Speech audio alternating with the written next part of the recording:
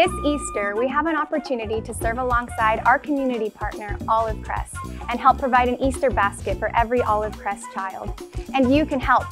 Beginning February 14th through March 14th, we'll be collecting donation items to fill Easter baskets for Olive Crest ages birth to 18 years. You can bring your items to one of our live outdoor services, or you can drop them off near church offices during office operating hours, Monday through Thursday, 9 a.m. to 5 p.m.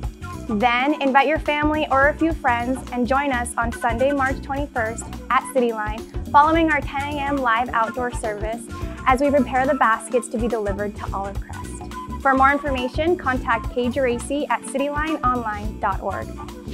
Hey Cityline families, we know it's been a long season at home. We thought it would be sweet to have a family movie night at home on us. You can pick up your family's free movie kit at our live outdoor services on February 21st and 28th at our check-in areas.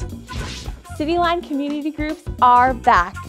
We kick off our next session of community groups on Sunday, February 21st, which means you can sign up today. Need some help taking that next step? Visit citylineonline.org slash community groups and we'll help you get connected.